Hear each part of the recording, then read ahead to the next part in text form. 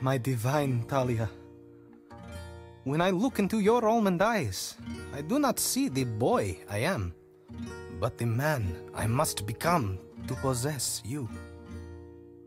I want to take all of the pain from your soul, and in the passion factory of my heart, transform it into functional joy. I want to take your hand by the Cheremosh River, and with all Ukraine as witness, take you as my wife.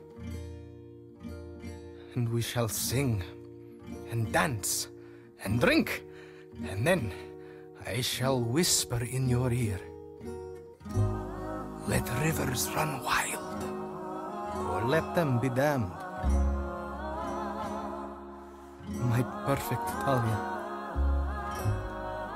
I lay my masculinity at the altar of your maidenhood.